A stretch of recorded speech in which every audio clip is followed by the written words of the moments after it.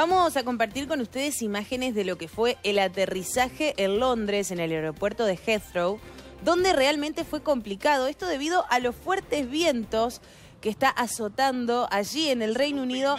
Miren impactantes las imágenes, la inestabilidad del avión cuando llega a la pista y tiene que, por supuesto, realizar sus maniobras de aterrizaje. Y estas imágenes fueron tomadas por gente que estaba allí en el aeropuerto, se volvieron virales. Ahí vemos lo difícil y complicado que fue el terror que se vivió ante este aterrizaje. Muy inestable se vieron estas imágenes cuando la tormenta de Isha estaba a punto de azotar el Reino Unido.